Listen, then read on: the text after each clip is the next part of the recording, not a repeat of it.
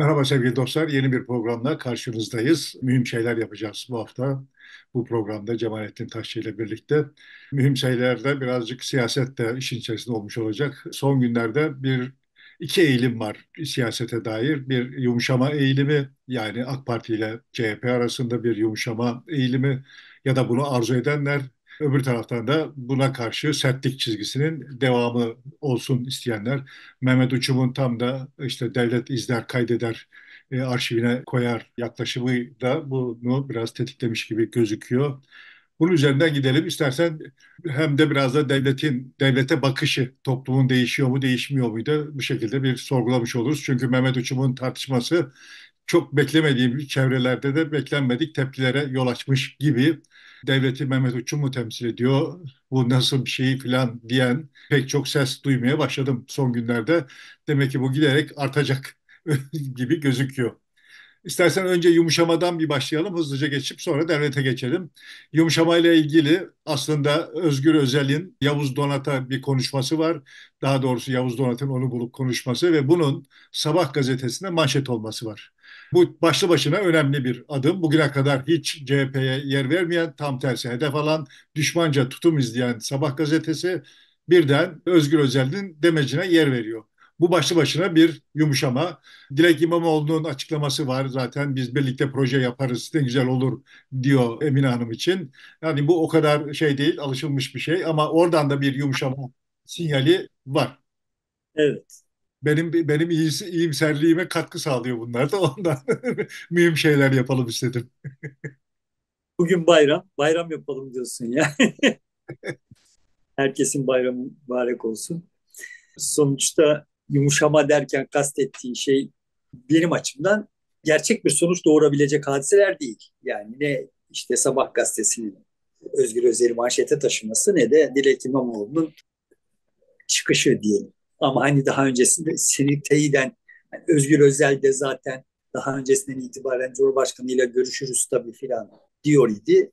Burada arka planda şöyle bir şey var ve onun e, manalı olduğunu düşünüyorum. Özgür Özel birkaç kere söyledi. Bütün partilerle bayramlaşabilen tek parti biziz gibi bir hikayesi var ve galiba gerçek de böyle. Yani herkesle bayramlaşmak diğer partilere pek nasip olmuyor gibi görünüyor ve bu, bu ayrıcalık önemli bir ayrıcalık. Türkiye'nin ihtiyacı ihtiyaçları itibariyle de anlamlı. Dolayısıyla Mesela MHP, MHP ilan etti ben sadece dört partiyle bayramlaşacağım diye diğerlerini kabul etmeyeceğim dedi. E, bir dönemde mesela AK Parti ve Erdoğan şöyle övünüyordu. Biz Türkiye'nin her yerinden oy alabilen bir partiyiz. CHP sadece kıyılardan alıyor diyordu. Şimdi CHP de hemen hemen Türkiye'nin her yerinden oy alıyor diyebiliriz. Doğu ve Güneydoğu hariç. Ama orası zaten e, malum Kürt bölgesi ve Kürtlerin partisi daha önde oy alıyor. Siyasetin çatısında böyle gerçekten ben onun elini asla sıkmam edaları ve buradan bir siyaset üretme çabaları sürüyor. Bu anlamda CHP Dem Parti'ye yakınlığı, Dem Parti ile temasta olması, onunla da, onunla da temas edebiliyor olması üzerinden vurulurken CHP bunu biz her partiye ile görüşebilen, bayramlaşabilen partiyiz diye formüle ederek şık bir karşı hamle yapmıştı. Bunun anlamlı olduğunu düşünüyorum. CHP'nin bu vasfının üzerinden işte tamam Cumhurbaşkanı'na da gideriz, makama da saygı gösteririz gibi şeylerle CHP'yi daha nasıl diyelim sivil ve kutuplaşmanın dışına çıkmaya çalışan taraf olarak konumlamak anlamlı bir şey. Orta vadede ciddi sonuç verebilir. Hatta şimdiki sonuçlarda da bunun da bir rolü olabilir diye düşünüyorum. Yani zaten ortadaki bir partiydi CHP ama her nasılsa Erdoğan'ın düşmanlaştırması, şeytanlaştırması tuzağına düşülmüştü. Böyle çok marjda algılanan bir partiydi. Halbuki yani her anlamda çok ortada bir partiydi. Öyle değil mi yani? yani herkes partisi daha çok. herkes. Sonuçta tabii buna ilaveten işte şey çıktı, Dilek İmamoğlu çıktı ve Emine Hanım'a bir nevi bir çağrıda bulundu. Bu aslında hani kendi başına konuşulmayı hak edecek bir şey. Ben iddia ediyorum ki bizim nesilde Süleyman Demirel'e işte çok karşı olanlar vardı vesaire ama bu çok karşı olanlar dahil hiç kimse Süleyman Demirel'le ilgili defolardan söz ederken Nazmi Hanım'dan söz etmez. Tabii etmez.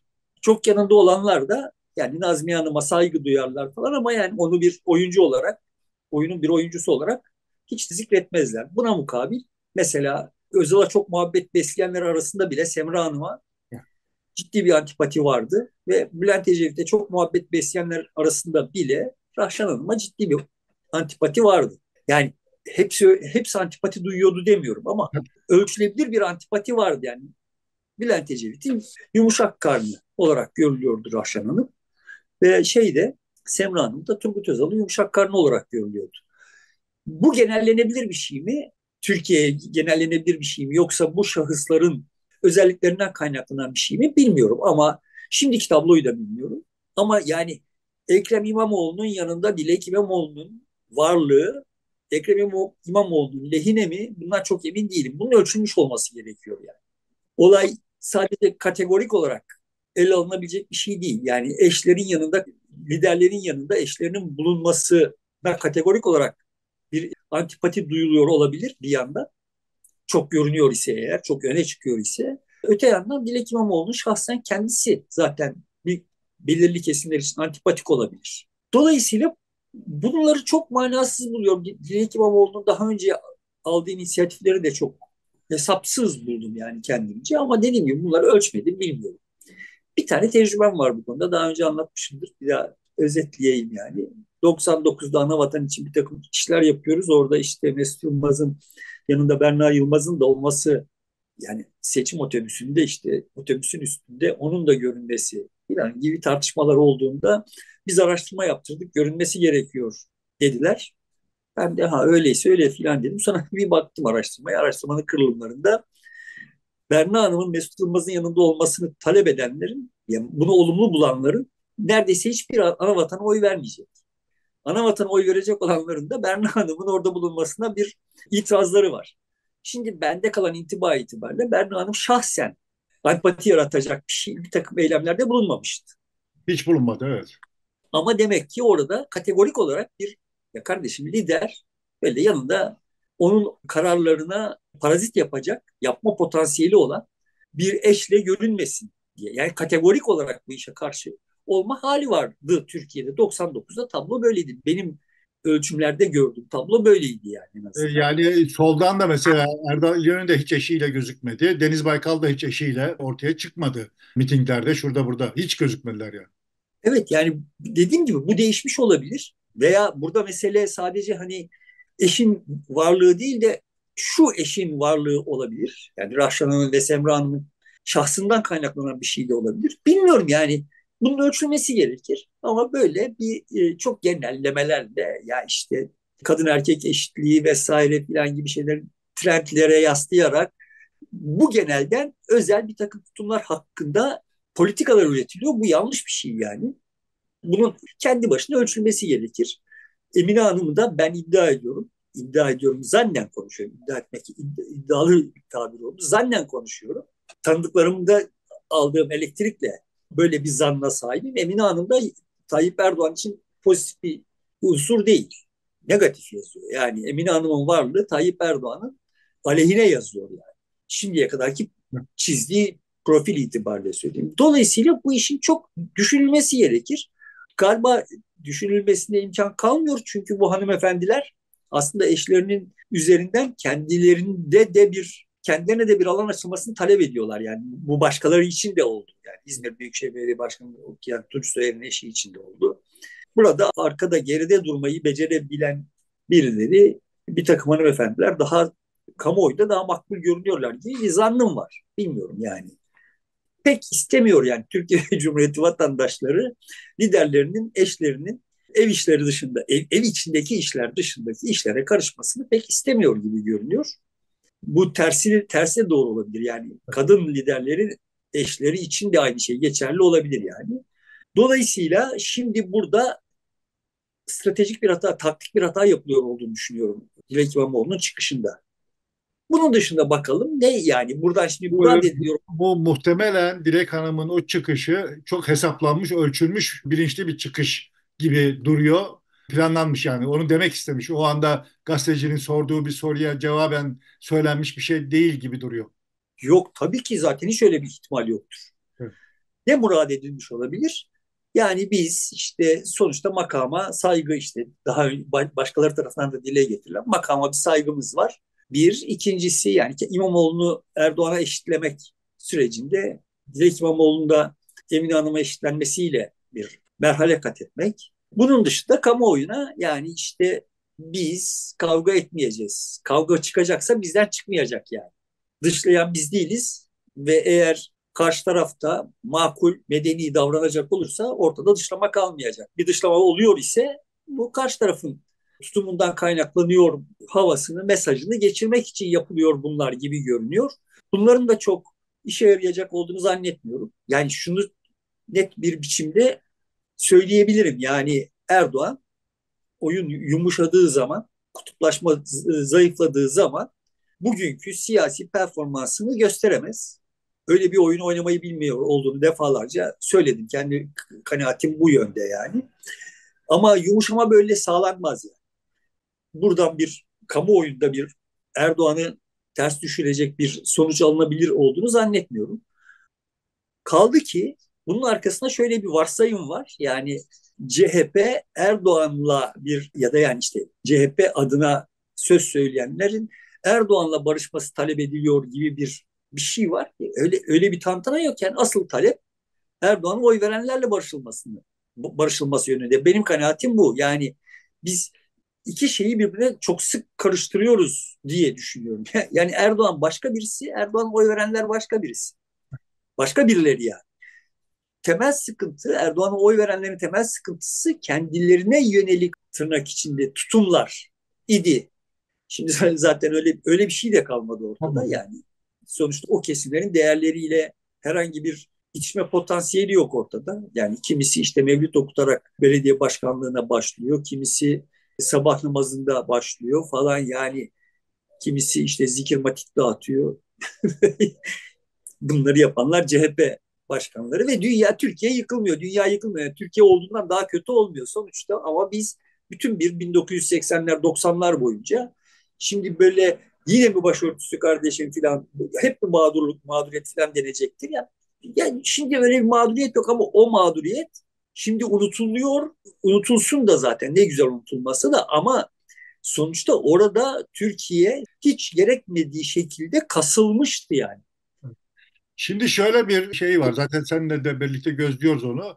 Bir yukarıda baktığımızda siyasetin bir kutuplaştırma, bölme, parçalama, büyük lokmayı yanına çekme gibi anlayışı var. Uzun süredir bu uygulanıyor Türkiye'de. Ama sahada aşağıya sokağa baktığımızda da Hayır, e, bir arada yaşayan, birlikte eğlenen, farklı görüşteki insanların yan yana durduğu, gezdiği, hatta birlikte pek çok işi yaptığı bir durumla da karşı karşıyayız. Yani yukarıdaki siyasetin yapmak istediğiyle aşağıda toplumun, sokakta bizim gördüğümüz insanların yaptığı şeyler birbirinden son derece farklı. Halbuki sokağın yukarıya yansıması gerekmiyor mu bu durumda? Oradaki eğilimlerin siyasetin diline, davranışına etkilemesi, dönüşmesi gerekmez mi? doğru bir siyaset mimarisine senin dediğin olur zaten de bu bizim içinde yaşadığımız siyaset mimarisi bu varsayımın üzerine inşa edilmişti. Mesele şu yani bütün bu kurumlar zaman geçtikçe kireçlenirler. Normal şartlarda bütün dünyada demokratik siyasi partilerin varlık sebebi ve fonksiyonları neydi? Tabandan gelen, tabandaki hararetlenmeleri, hassasiyeti olan insanlar işte bunları bir hiyerarşi içinde harmanlayacaklar, harmanladılar. Zaten öyle oldu. Yani işte niye sosyal demokrat partiler Avrupa'da şu tarihlerde şöyle fonksiyon üstlendiler? Çünkü işte tabanla temasları olan insanlar bu talepleri kristalize ede ede yukarıya taşıdılar. Oralarda siyasetler oluştu. Türkiye'de de tablo böyle oldu. Yani merkez sağ, merkez sol dediğimiz hadiseler Türkiye'nin mevcut sosyal dokusunun yukarıya yansıması oldu. Partiler bu fonksiyonları üstlendiler. Mesele şu, böyle kurumlar kurarsın, bunlar çalışırlar ama bir süre sonra bu kurumların içinde işte muhtelif rantların yani idari rantlar, makam rantları veya maddi rantları göz koyanlar artık tırnak içinde rol yapmaya başlarlar. Aslında oldukları gibi değil, olmalarının beklendiği gibi oranta oturabilmek için olmalarının beklendiği gibi pozisyon almaya başlarlar. Bu bir süre sonra çalışmaz hale gelir. Bütün kurumlar böyledir. Yani bu Biz şimdi evet siyasetin bütün dünyada çöktüğünden şikayet ediyoruz ve siyasete takaz ediyoruz da yani bu kadar uzun süre çalışmış olması da bunun bir marifet yani. Şimdi bunu bu durumu fark edip yenisini düşünmemiz gerekiyor. Yani kurumlarda insanlar gibi ölürler. Siyaset bu anlamda öldü. Şimdi evet senin sözün ettiği gibi tabanda bunun tabanda hiç ilgi tabanla hiç ilişkisi olmayan bir dizi gerilim üst üst katlarda yeniden inşa edilebiliyor. Sıfırdan inşa edilebiliyor ve bu olması gerekenin aksine tavandan tabana empoze edilebiliyor yani. Bunun üzerinden siyasi tutumlar inşa edilebiliyor. Bunu herkes görüyor yani. Sonuçta bu sadece siyasetle ilgili bir şey de değil. Yani sıradan bir Türkiye Cumhuriyeti vatandaşıyla sıradan bir Yunanistan vatandaşının yurt dışında bir araya geldikleri zaman aralarında herhangi bir husumet yoktur. bu iki ülkenin herhangi bir yerinde bir araya geldiklerinde de bir husumet yoktur. Ama yani bunun üzerinden bu iki ülke üzerinden gerilim yaratarak rant üretiyor olan işte Lockheed firması vesaireler bunun böyle olmasını istemezler yani. Ya çünkü yani Türkiye'ye şu kadar Yunanistan'a bu kadar uçak satılacak değil mi yani? Bu üst yapıda kotarılıyordu olan bir, bir şeydi. Burada da şimdi böyle toplumdan bağımsızlaşmış. Yani o, o, o üst yapılar, milli güvenlik üst yapıları zaten teknik olarak hep toplumdan bağımsızdı. Bize bunun hesabını kimse vermiyordu yani. Ama siyaset böyle değildi normal şartlarda. Şimdi siyaset uzunca bir süre önce yavaş yavaş bu hale gelmişti. İyice artık bu hale geldi. Üst tam, tamamen altyapıdan bağımsız bir üst yapı kurumu halini aldı yani. Dolayısıyla fonksiyonu yerine getiremiyor. Dolayısıyla bunun yerine başka bir mimari icat etmemiz gerekiyor. Bunu ıslah edemeyiz. Benim gördüğüm tablo. Biz bunu ıslah edemeyiz yani. Biz derken sadece Türkiye Cumhuriyeti vatandaşları ya da sadece muhalifler falan olarak söyleme. Bütün dünyada tablo böyle böyle görünüyor. Her yerde bir tatminsizlik var siyasi üst yapılarda. Dolayısıyla şimdi bizim burada ama bu şartlar altında yine de hani bir üst, üst yapı kurumu olarak muhalif parti olarak CHP bir şey yapacaksa CHP'den bekleniyor olan bekleniyor olan derken kastettiğim CHP seçmeni bunu beklemiyordur da CHP yaparsa kendisine fayda sağlayacak olan şey Erdoğan'la barışmak değil. Erdoğan'a oy verenlerle barışmak. Bu konuda ciddi mesafe kat etti. Ve bu seçim sonrasında gösterilen tavırlar, tutumlar da aslında CHP'nin bu anlamda önemli mesafe kat ettiğini gösteriyor. Ama yani şimdi buna bir de Erdoğan'la barışmak, Erdoğan'a sempati göstermek planları eklemek çok anlamlı değil de çok antipati yaratabilir de. Taktik olarak da yürütüyor olabilir CHP. Yani Erdoğan'la bir araya gelinmeyeceğini gördüğü için tabanla buluşabilmek, onunla yan yana gelebilmek için bak biz teklifte bulunuyoruz, arzu ediyoruz, istiyoruz ama Erdoğan gelmiyor. Ne yapalım? Onu boşa çıkartmak, zora sokmak için böyle bir taktik gidiyor olabilirler. Ben böyle olduğunu da düşünüyorum zaten. Bu amaçla yapılıyor olduğunu düşünüyorum ama yani buradan bir sonuç alınabilecek olduğunu düşünmüyorum. Bu kamuoyunda ya siz yanlış anladığınız duygusunu pekiştirir diye de düşünüyorum. Bilmiyorum yani. Bunun arkasına neyin, yanına neyin konacağını da bilmiyoruz. Onları da göreceğiz. Ama buradan bir yumuşama çıkar mı? Çıkmaz. Yumuşama zaten zaten çok yumuşamış durumda ortalıkta. Bir üstelik, üstelik öte yanından bakıldığı zaman yani Erdoğan artık eskisi bundan 6 ay önceki, 3 yıl önceki, 15 yıl önceki gibi kutuplaştıramıyor. Yani çünkü taban öyle değil, değişti. Yani Hayır, o değerli. Evet. E, İmamoğlu da bir demeç vermiş Financial Times'a. Orada diyor ki işte otoriter şeye bir darbe bu seçim sonuçları. Erdoğan diyor şayet buradan mesajı almaz ise yani sertleşir ise seçim yakınlaşır diyor. Yani bir yandan o e, hani bunun taktik olduğunu Özgür Özel'in bir CHP Genel Başkanı olarak köşeye sıkıştırmak adına taktik olarak yaklaştığını kuvvetlendiren, değerlendirmeyi kuvvetlendiren bir açıklaması gibi geldi bana İmamoğlu'nun. Evet yani sonuçta İmamoğlu'nun Financial Times'a misafir olması, ekonomistin yaptığı yayınlar vesaire falan zaten başka birçok şeyin de değiştiğini de gösteriyor. Orada İmamoğlu'nun genel hali tavrı da aslında evet Türkiye'nin geleceğine talip ve bu anlamda rüştünü ispatladığından da emin bir oyuncu tavrı. Erdoğan'ı bu anlamda köşeye sıkıştırmaya çalışıyorlar. Buradan çok buradan bir sonuç çıkacağını, çok sonuç çıkacağını zannetmiyorum. Bunu söylemeye çalışıyorum. Yani çok da gerekli görmüyorum ama yani işte o kafaları böyle çalışıyor. Yani Erdoğan da zaten bunu boşa çıkartan bir hemen açıklama yaptı. Bu Hatay e, kararını verdikten sonra YSK bayram sonrası Hatay'a gideceğim dedi. Orada işte YSK nihai kararını verdi. Malum tiplerin müracaatları bir netice vermeyecektir diyerek yani diğerini eşit görmeyeceği, muhatap almayacağı hala gözünde malum tip ya da işte Türkiye'nin aleyhine çalışabilecek e, yabancı unsurlarla iş yapabilecek kişiler gibi değerlendirme devam ediyor. Türkiye'nin aleyhine kimin ne kadar çalıştığının delillerinden bir tanesi yani sonuçta İsrail'e e, ticaret konusuna bir sınırlama getirildi ve birileri sor diye demek ki varmış ticaret ve yani bu iş, iş işten geçtikten sonra şu kadar bin Filistinli öldükten sonra bunu engelleme yani bunu engellemek gereksiz idiyse şimdi niye engelliyorsunuz? Bunu engellemek gerekiyor idiyse bugüne kadar niye engellemediniz? Türkiye benim hep söylediğim şey. Türkiye hiç bu kadar ucuzlamadı.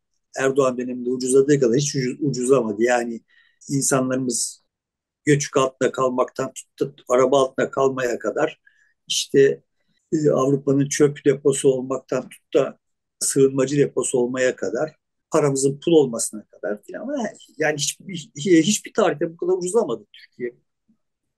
Ve şimdi ama bize bize karşı olan yabancı bir takım şeylerin oyuncağıdır bu masalı anlatıp duruyorlar. Bu masalın bir karşılığı varmış gibi görünüyor. Çünkü yani sosyal medyada baktığın zaman bu yeniden kullanılıyor yani. Evet. Çoğunun troll olduğunu düşünüyorum. Kalanların da aslında Erdoğan'a oy vermeyi sürdürmek için başka bir bahaneleri kalmadı. Bir, bir dizi bahane vardı Erdoğan'a oy vermeyi sürdürmek için. Şimdi geriye başka bir bahane kalmadı. Erdoğan'ı devirmek isteyenler dış güçler çünkü filan böyle bir geyik. Peki yani bu, bu durumda niye Erdoğan'a oy vermek için ısrar var? Karşı taraftan kork, korkulduğu için yani CHP'den korkulduğu için CHP'nin genel algısı genel algısının içinde böyle dinsizlik, minsizlik değil. Yani bunlar gelecekler yine bizi işte TOK'tan efendime söyleyeyim işte savunma sanayinden şundan bundan mahrum bırakacaklar. Yeniden işte eserden mahrum bırakacaklar. Tunç Soyer Ertuğrul Özkök'e bir sistem yazısı yazmış. Ben neleri yaptım diye anlatmış ya ben hakikaten dudaklarım uçukladı. Yani övünüyor olduğu şeyler herhangi bir CHP'liye koyu CHP'liye okutalım yani. Aa evet lan bak şunu yapan adamın nasıl hakkını yedik ya diyeceği bir şey yok kardeşim.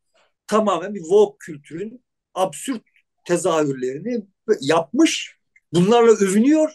Türkiye'nin, İzmir'in ihtiyaçları itibariyle bakıldığında hani o zaman diyorsun ya evet ya şimdi bunlara oy vermek yerine Erdoğan arkasına saklanmanın da bir manası varmış gibi görünüyor. Yani genel sıkıntı buralarda ama böyle biz ideoloji konuşuyoruz filan. Seninle bir ara şeyi konuşalım bu Amin Maluf'un labirentini.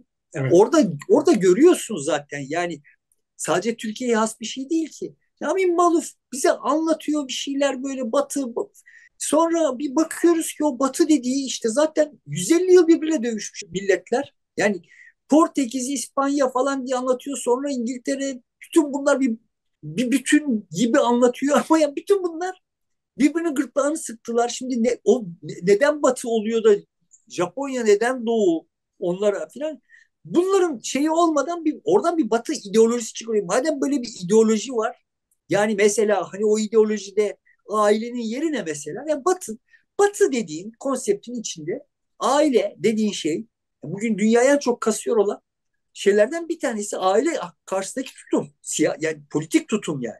Tamam şimdi Batı dediğinin dediğin ideolojinin aileye yaklaşımı o Batı'nın böyle dünyaya hakim olmaya başladığı Viktoryen dönemdeki mazbut aile mi? Yoksa şimdiki böyle işte eşcinsel evliliklerinin meşru olduğu aile mi? Yani böyle sanki bir batı var falan gibi anlatıyor. Bak bir batı yok demiyorum yani.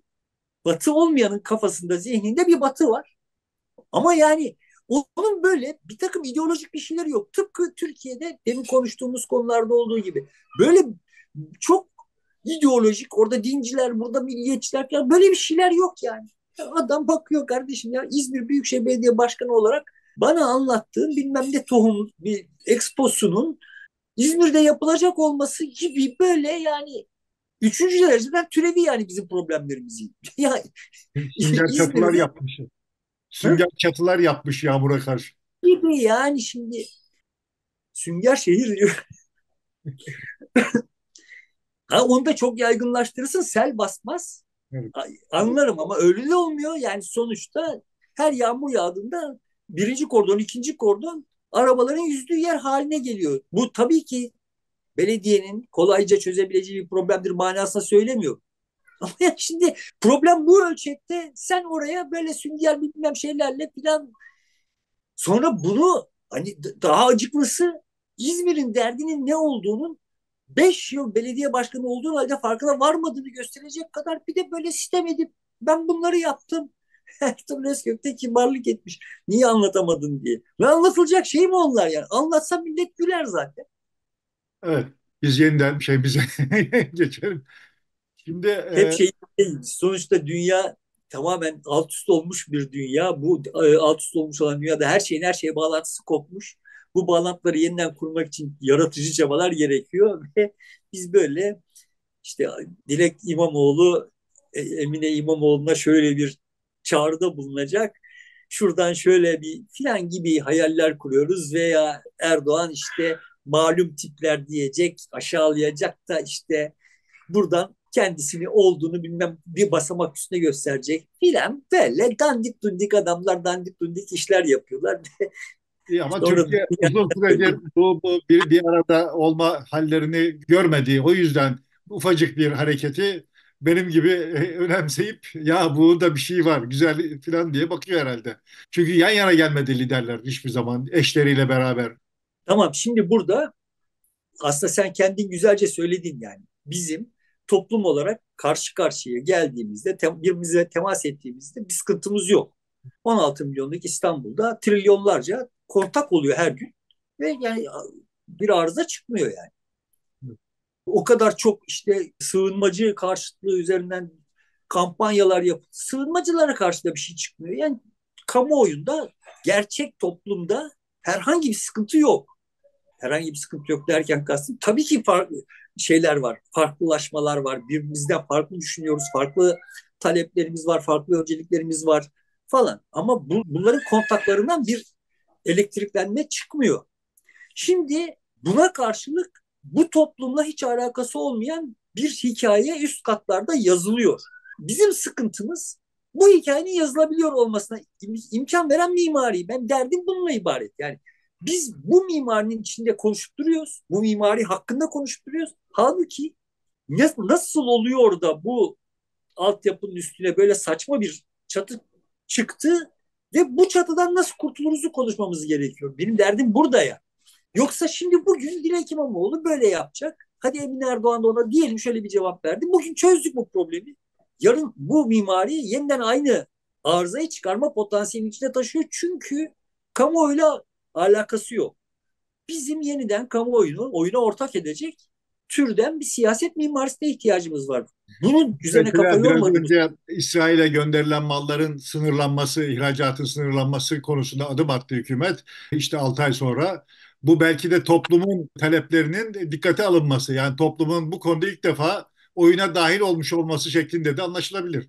Tabii canım arada böyle sonuçta çok büyük dalga halinde geldiği zaman kaçınılmaz olarak ağzımıza bir parmak bal çalınıyor. Yani o oyunu sürdürmek için gerekli olan meşruiyeti sürdürmek için ağzımıza yeri geldiğinde işte böyle seçim yaparak falan bir, bir parmak bal çalınıyor. Ama yani esas itibariyle bizim bundan daha fazlasını hak ettiğimizi düşünüyorum ve daha fazlasını talep etmemiz gerekiyor. Bunu da hani siyasetten talep etmek değil. Kendi içimizde ya bak bu şekilde çatılmış bir yapının altında biz emniyette değiliz yani. Bir şeylerin kökten değişmesi gerekiyor. Tam tersine değişti Türkiye'de. Yani devleti milletten iyice uzaklaştıracak şekilde aşırı merkezileştirildi bir de mimari. İşte ben de tam da burada devlet algısının nasıl değiştiğini ya da değişiyor olduğunu bir sorayım istiyorum e, sana. Mehmet Uçum'un açıklaması ve burada polisin işte Filistin davası için gösteri yapan ticaret durdurulsun diyenlere yönelik uyguladığı çok şiddetli karşı saldırı. Orada diyor ki işte provoke ettiler o yüzden ben şiddet kullandım diye söylüyor polis. Polisin tabii provoke olma gibi bir lüksü yok. Eğer provoke oluyorsa polis olmayacak o da ayrı bir şey. Ama bu ikisi bir de, de vali dedi ki bunlar dedi herhalde dış güçlerin e, aleti haline gelmiş insanlar çıkıp burada eylem yapıyorlar diye e, bir siyasi parti parti mensubunun söyleyeceği bir lafı vali olarak söylemiş oldu. Bu ve bir de esas Mehmet Uçum'un devlet arşivine not eder, arşivine koyar deyip Van meselesinden siyasileri eleştirmesi, sonra o siyasilerin buna itiraz etmesinden sonra geri adım atmaları Mehmet Uçum'un yine çıkıp ben doğruyu söyledim. Bundan geri adım atmıyorum. Devlet evet arşiv yapar, toplum hafızasını yazar gibi bir değerlendirme yaptı. Şimdi Türkiye toplu bir göç, iç göçünü büyük oranda tamamladı diyebiliriz. Ee, bir şehirlere geldi, taşındı. Kırdaki devlet algısı ile şehirdeki devlet algısının farklı olması e, beklenir. Türkiye'de devlete yönelik bu algı, kutsal devlet algısı herhangi bir değişime uğruyor mu? ya da uğramıyor mu, e, uğraması gerekir mi diye bir sorayım burada Mehmet Uçum'un tartışması üzerinde.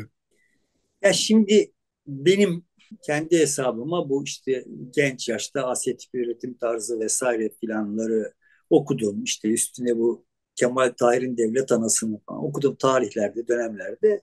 Küçük aklımla kendimce geliştirdiğim şöyle bir şey vardı. Yani Avrupa'da temel sömürü iktisadi sömürü unsuru toprak. Fakat bu coğrafyada toprak çok uzun süre öncesinden itibaren işlenmeye başlamış olduğundan ve başka yani artık iklimin de değişmiş olmasından dünyada yani Roma dönemindeki iklim kaymasının akabinde bu coğrafyanın toprak verimliliği Avrupa'nın toprak verimliliğine kıyasla düşük. Yani bir hektardan alabileceğim buğday miktarı Avrupa'da Türkiye Anadolu'dakine kıyasla çok daha yüksek. Avrupa dediğim de zaten çok yakın bir geçmişe kadar ormanların e, aleyhine tarım alanlarını genişleterek su artışını absorbe edilmiş olan bir coğrafya yani ağırlıklı olarak daha yani ormanların aleyhine tarım alanlarını genişlettiği zaman o topraklar başlangıç itibariyle çok verimliler yani. Şimdi Avrupa'nın yani bu bugün hani hem ulus devletin müellifi olan hem de bugünkü işte daha teknik devlet, hizmetkar devlet konseptinin yeşerdiği yer olarak Avrupa'nın şartları bunlar iken bu coğrafyanın şartları burada e, tarım üzerinden, toprak üzerinden sömürünün bir limiti var. O kadar rantablı değil. Ve burada asıl sermaye birikimini sağlayan şey ticaret. Ticareti, tüccarı serfi sömürdüğün gibi sömüremezsin. Yani onun bir limiti var. Adam yapmaz ticaret yani. Ya da başka bir yol bulur. Başka bir güzergah bulur falan.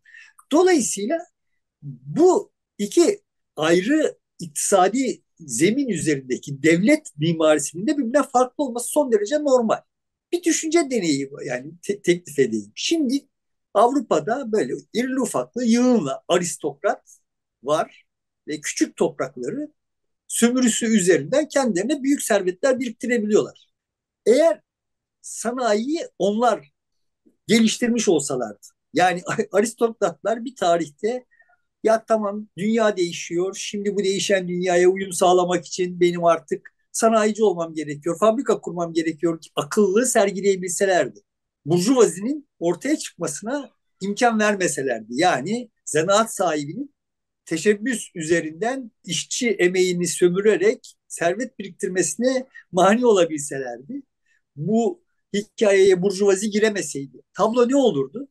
Yani aynı sanayileşme seviyesine ulaşılsaydı ama bu sanayileşme seviyesinde burjuvazi bir rol almasaydı da aristokratlar serfin işçiliğinin, çiftçiliğinin sömürüsünden işçinin sömürüsüne geçmiş olsalardı kapitalizm denen tantana tıp atıp Sovyetik bir karaktere bürünürdü. Devlet yine aşırı e, güçlü ve yani aristokratlar öyleydiler. Bunu söylemeye çalışıyorum. Aşırı güçlüydüler Serf'in bir gücü yoktu. Burjuvazi bir zemin kazandığı zaman devleti geriletmek zorundaydı ve bu süreçte de o kutsal devlet daha, da, daha doğrusu kutsal değil de despotik devlet geriletilmesi sürecinde elde edilmiş olan bir takım şeyler var, deneyimler var. Yaşanmış bir şeyler var yani. Bunun sonunda da gelinen nokta kardeşim devlet işte bizim vergimizle bize hizmet eden kurumdur. filan geyiklerine ulaşılmış. Devlet çok çok aşırı güçlü olduğu için ona karşı olan hareket zaman içinde aynı şiddetle müdahale etmiş geriletebilmek için onu ve orada oluşmuş bambaşka bir tırnak içinde demokratikleşme kavramı var yani. Ki senin toplumunda, senin coğrafyanda tablo böyle değil ki senin coğrafyanda işte Şah'a gidelim diyor şair. Yani bu, bu sultandan memnun değiliz Şah'a gidelim. Yani böyle aşırı güçlü, her yere gücü yeten bir aristokrat yok. Aristokrat sınıfı yok. Devlet de o kadar o kadar şiddet uygulama kabiliyetine sahip değil. Zaten de çok büyük co- coğrafyalara yayılması gerekiyor ki ticaretin güvenliğini sağlasın, güvenliği sağlamak üzerinden bir rant elde etsin. Yani küçük küçük oldukları zaman tüccar kime şey ödeyecek yani? Haraç ödeyecek. Büyük imparatorluk olacak ki bir ucundan girip öteki ucuna kadar güvenliğinin karşılığı olarak bir özneye bir şeyler ödeyecek yani değil mi? Evet. E, coğrafya bu kadar büyük olunca da o coğrafyayı kontrol etmek, o coğrafyada az ya da çok rıza etmen gerekiyor yani. Böyle sadece güç kullanarak kontrol edemezsin. Dolayısıyla bu gücü yerellerle paylaşman gerekiyor. Yani yereller de yok aslında orada ortada yani. Yine bütün şey çok merkezi özellikle Osmanlı'da böyle. Ama dikkat edin burada böyle yerel aristokrasi hiç palazlanamıyor yani. Dolayısıyla burada devlet o ticaretin akışını güvence altına alacak eşkıyanın baş göstermesine karşı koyabilecek baba bir devlet, ana bir devlet. Yani. Tamam yani buranın devlet uları çok akıllı olduklarından, çok insani olduklarından, çok Müslüman olduklarından, çok Hristiyan olduklarından böyle. Ondan değil yani. Elindeki imkanlarla yapabileceği bu olduğu için. Dolayısıyla şimdi burada bu devleti geriletmek fikri Avrupa'daki gibi bir mana taşımıyor. Burada devlet olmadı mı işte hırgür var. Eşkıya gelecek, yağmalayacak yani. Böyle düşünmüştüm yani çok küçük yaşlı çocuk yaşlarında böyle düşünmüştüm ve hala bu kanaatteyim. Yani bu iki de, devlet algısı arasındaki fark buradan kaynaklanıyor. Ve ondan sonra da yani işte bize cumhuriyeti kuranlar da bize nasıl diyeyim iyilik yapan bir devlet. O olmasa bizim olmayacağımız bir devlet anlata gelmişler. Herkes bu yüzden Türkiye'de devletçi yani. Benim de bir itirazım yok yani bir devlete ihtiyacımız var. Gençken, gençken vardı şimdi yok. Bir devlete ihtiyacımız var ama bu devletin bize bir şeyleri dayatmasına kendi kafasına göre, kendi keyifle, kendi ideolojisine göre, kendi konjonktür algısına göre bir şeyler dayatmasına itirazım var. Bu anlamda milletin aşırı zayıf kaldığını, bırakıldığını düşünüyorum. Temel pozisyonum bu. Ama işte kimisi vay devlet zayıflarsa Kürtler şunu yapacaklar, bölünecek Ötekisi vay devlet zayıflarsa aile şöyle olacak. Bir ikisi vay devlet zayıflarsa din elden gidecek. Ötekisi vay devlet zayıflarsa din her yere hakim olacak gibi bir şeyle yani topluma güvenmeyip güvenmediğin zaman o topluma yukarıdan bir şeyleri dayatma gücüne ya o gücü ben ele geçirirsem diye sahip çıkman gerekiyor. Genel tablo bu.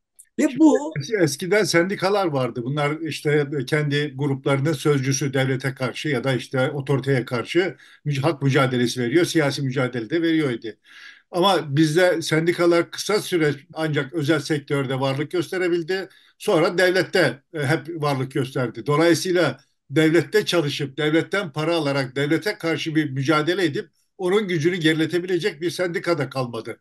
Dolayısıyla sivil toplum örgütleri de yok bu çerçevede baktığımızda. Şimdi buna siyasi partiler de eklendi. Eskiden siyasi partiler iyi kötü halkın elinde devleti geriletebilecek ya da devletten pay alabilecek bir araç idi. Şimdi bu özelliğini de büyük oranda partiler kaybetti.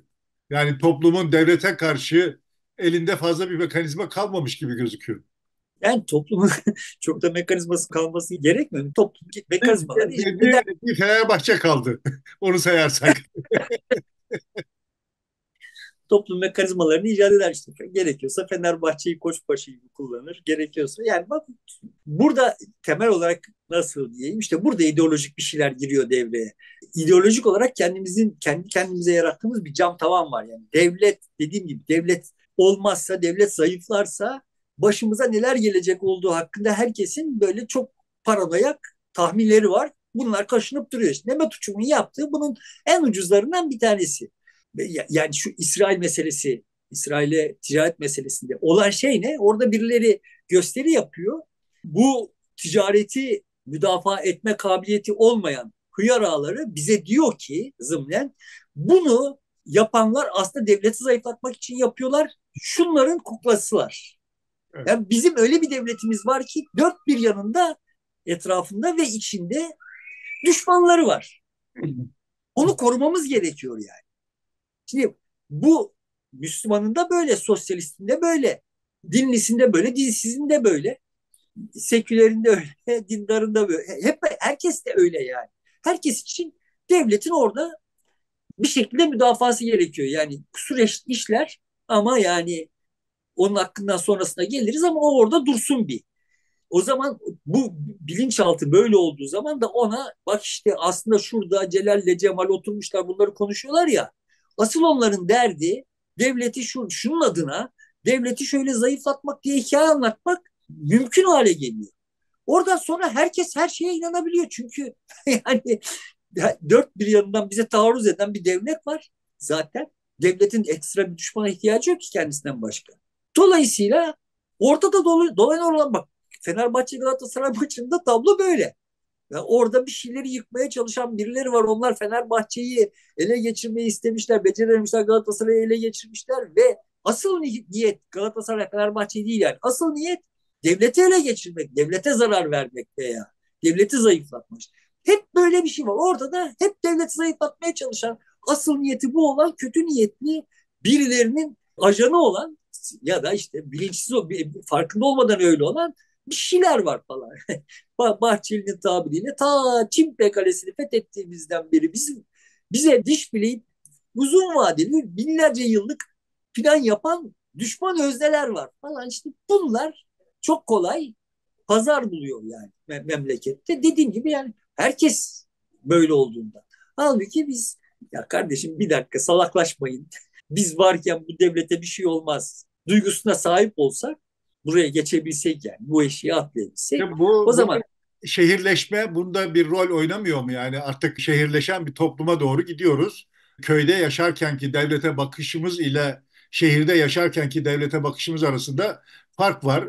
Şehirdeki en azından hizmet bekliyor kendisiyle ilgili olarak bir takım şeyleri daha fazla hizmet bekliyor köydekine göre. Çünkü günlük hayatını ona göre sürdürmesi lazım. Bu devlete olan bakışı, algıyı, değerlendirmeyi biraz farklılaştırması gerekir diye düşünüyorum. Teorik olarak haklısın. Pratikte bana pek öyle görünmüyor. Benim pratikte gördüğüm köylü devletle ilişkisinde daha realist. Yani devletin soyguncu olduğunu daha farkında yani. Şehirde tablo şöyle çalışıyor. Mektepler o devlet algısını çok besleyecek endoktrinasyonu yapıyor ve şehirdeki daha karmaşık ilişkiler ağı da o devletin böyle çok sofistike taarruzlara maruz kalıyor oldu. Yani hatırla yani sonuçta biz 1970'lerde birbirimizi gırtlaklarken, kurşunlarken sokaklarda asıl kavga neydi? Yani devleti Ruslar alacak, Amerikalılar alacak. Yani Amerikalılara karşı devleti müdafaa ediyor birileri. Sovyetlere karşı devleti müdafaa ediyordu birileri ve biz bu hikayenin içinde birbirimizi öldürüyorduk. Yani hiç kimse Amerikan düşmanlarının hiçbirisi Amerikan Amerikalı öldürmüyordu. Sovyet düşmanlarının hiçbirisi Rus öldürmüyordu yani. Ya şimdi bu absürt hikayeyi sürdürebilmek için şehirli olmak gerekiyor yani. Köylüye bunu anlatamazsın gibi geliyor bana. Bilmiyorum. Pratikte iş senin dediğin gibi yürümüyor gibi görünüyor. Yani şehirli o Bektepli'ye bunu Bektepli'yi bu şekilde tuzağa düşürebiliyorsun. Ve bütün bunlar yani, aslında şimdi devlet konusunda köylü daha bilgece davranıyor ama mektep okumuşlar daha cahilce davranıyor gibi bir sonuç çıktı şimdi. Daha, evet yani daha endoktrine edilmişler çünkü. Yani çok sofistike değil miydi argümanlarımız canım? Yani birimiz karşımızdaki bizim akranımızı vuruyor idik. Ben, ben girmiyordum bu işlere de ama yani sonuçta bizim akranlarımız akranlarını vuruyor idiler. Yani köylünün çok da kafasının basmayacağı bir takım teorik çıkarımlar gerekmiyor mu? Yani bunu insanın bunu yapabilmesini sağlamak için. Evet. Ve herkesin de çok sofistike şeyleri yok muydu? Yani ne ciltlerle kitap yazıldı yani. Hepsi kof, bomboş şeylerdi ama bugün de tablo böyle gibi görünüyor bana. Yani birbirimizi gırtlaklıyoruz, birbirimize düşman oluyoruz. Aslında hani sokakta birbirimize değdiğimiz zaman bir sıkıntı yok ama bir heyula yaratılıyor yani. Bak işte eğer o AKP'li AKP'ye oy verenler var ya işte onlar aslında onların dertleri falan diye öteki tarafta da işte onlara da bak bu CHP'ye oy verenler var ya aslında onların dertleri diye böyle çok nasıl diyeyim naif bir insan bu oyunların hiçbirisine gelmez. Kafası basmaz yani. Vokabüleri yetmez yani buna. Bu vokabülere tam olabilecek kadar endoktrine edilmiş olmak ancak şehirde mümkün diye düşünüyorum ve pratikte de kavga şehirde dönüyor gibi görünüyor. Yani Mehmet Uçum gibi bir adam köyde aç kalır. şehirde şimdi bu normal bir ülkede. Normal gene, bir gene karnını doyururlar da kendi başına bir işi yapamaz. Aç evet. köylü e, köylü veya köy güzellemesi yapmak derdinde değilim hani. Hı. Aradaki farkın e, senin düşündüğün gibi çalışmıyor olduğunu zannettiğimi açıklamak için bu kavramları kullanıyorum. Şimdi Mehmet Uçum gibi bir adam normal bir Türkiye'de ne iş yapar? Yani orada bir think tank'te işte zırvalar toplu taşımaya binecek kadar işine gidip gelecek kadar bir geliri olur. Veya çok şartları iyi gitmiş ise işte dandik bir üniversitede doktoralı öğretim üyesi olur. Yani Mehmet Uçum gibi adamlar dünyanın her yerinde vardırlar yani. Böyle hiç, burada sorunumuz bizim Mehmet Uçum'un varlığı değil ki. Bu, bu dandik adamlardan böyle uyduruk kavramlara çok kıymet vehmedecek kadar zihni zehirlenmiş varlıkların başkasına zihni, zihni zehirlenmiş bak sizi kaydediyoruz diyecek ne bakanlara gelmiş olması. Sıkıntı buradan kaynaklanıyor. Yani benim Mehmet Uçum'la ne gibi bir problem olabilir? Yani ya onun gibi binlerce manyak gördüm ben yani hayatımda. Hiçbirisinden hiçbir zamana bir zarar veremedi. Herhangi bir şeye zarar veremedi. Ama yani şimdi bu adamı buna benzer adamları tutup getirip böyle külliyede işte yani o Briyantilileri şunları bunları ya da yani işte bakan yapıp falan böyle işi zıvalar çıkartınca e, tabii adam ben, ben, ben onun yerine olsam yani hayatım boyunca itilip kakılmışım. Şimdi külliyede ben oturuyorum kendimi devlet zannederim. Oradan Celal'e parmak sallarım. Buradan Dilipak'a parmak sallarım. Herkese parmak sallarım ve of ne biçimde tatmin olurum yani. Ben olsam ben de onu yaptığımı yaparım. Üç kuruşluk aklıyla adam oraya gelmiş. Ne yapsın yani? Ne istiyor, ne istemiyor. Ama buradan devletin geldiği hali, devlet hep böyleydi ayrıca. Bu kadar kartondu. Ama iyi kötü bir yerlerde bir takım sigortalar vardı ve içinde hep Mehmet Uçumlar barındırsa da onların böyle ortaya üfürmelerine mani olunuyordu ya da ne bileyim bir şey oluyormuştur yani. Yoksa biliyoruz yani bu memleketin profesörleri de böyleydi. İşte efendime söyleyeyim yüksek bürokratları da böyleydi. Dandik dundik bir yığın adam tepede bilmem nerelere geldi. Orada bir işte devlet istatistikleri bilmem nerelere geldi. Tanıdık yani bu insanları biz. Evet. Şimdi devleti kurmuş olan CHP e, uzun süre devleti yönetemez durumda olunca e, ister istemez gidip milletin yanına geçip millet partisi olmayı herhalde bir şey oldu, heves etti ya da mecbur kaldı. Şimdi o devleti yönetenlere, devletim diyenlere itiraz ederek e, milletle yan yana duruyor gibi bir tabloyla karşı karşıyayız. Tam tersi AK Parti milletin içerisindeydi. O gitti devletin partisi oldu. Devletin böyle devşirme kabiliyeti ta Osmanlı'dan bu yana çok yüksek yani. Sonuçta e, devlet dediğin tantana bu toprakların gelenekleri itibariyle işte o devlet tapıncının da yardımıyla devlet dediği devleti zayıflatmak, geriletmek için yola çıkmış olup bu yolda bir mesafe kat etmiş olanlarına bir süre sonra devşiriyor. Yani hep öyle oldu. Yani Süleyman Demirel'in yola çıktığı devlet algısı ile sonunda işte geldiği nokta 28 Şubat'ta vesaire geldiği nokta Cumhurbaşkanı iken geldiği nokta arasındaki fark bu yani. Ben Süleyman Demirel o 28 Şubat döneminde briefing verip duruyorum. 1, 2, 3 sonra ya kardeşim buradan buradan bakınca Türkiye sizin gördüğünüz gibi görünmüyor dedi. Oraya çıkana kadar bizi dinliyordu. Türkiye bizim anlattığımız gibi görünüyordu Süleyman Demirel. Oraya çıkınca birdenbire olay farklılaştı. Sonuçta devlet devşirir. Devletle millet arasındaki bu itişmede devam ediyor. Edecek de zaten oyun yani bunun nihai çözümünü bulup da onu uygulamak falan gibi bir şey de olmaz. Bu tarih böyle bir şey yani itişe kakışa itişe kakışa bir yere oturuyor olay. Bu anlamda Türkiye'de devlet hem bir açıdan bakıldığında daha koflaştı, daha biçimsizleşti Erdoğan elinde. Hem biçimsizleşti hem de kurumsuzlaştı. Evet, evet. Ama öteki tarafından da daha pervasız ve böyle çıplak güç gösterisi. Biz, ya, biz bunları görmüyorduk yani. Bu kadarını görmüyorduk değil Yani mi yani? sadece güvenlikçi tarafı öne çıktı, diğer tarafları sanki yok oldu. Yani o sosyal devlet anlayışı ya da işte yatırımcı ekonomide girişimci devlet anlayışı, kurucu şey onlar e, büyük oranda kayboldu. Ya da yeninin peşinden gitme.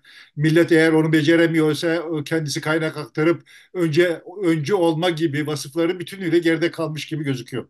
Evet güzel söyledin. Sadece güvenlikçi bir devlet kaldı geriye.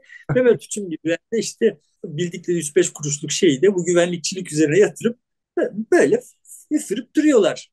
Türkiye Cumhuriyeti öyle herkesin düşman olduğu bir cumhuriyet. Cumhuriyet yani çok da önemsenen bir yer de değil artık. Bir zaman çok önemseniyordu da böyle şimdi çok önemsenen bir yer de değil.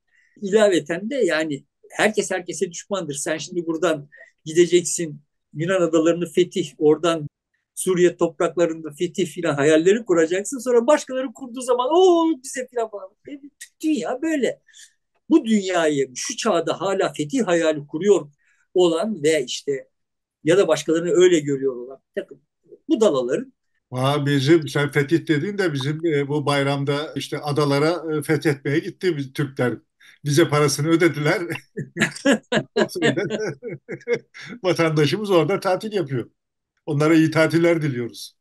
herkese iyi tatiller diliyorum. Peki bitirelim mi? Bir, birkaç bir şey daha söyleyeceksin. Sevgili dostlar, bayramınızı kutluyoruz. Bayramın birinci günü mühim şeyler yapalım dedik E, ama e, biraz da bayramı uyarak yaptık, öyle diyelim. Hepinizin bayramı mübarek olsun. E, Kutluyoruz. İyi günler diliyor. Burada bitiriyoruz programı. Hoşça kalın. Hoşçakalın.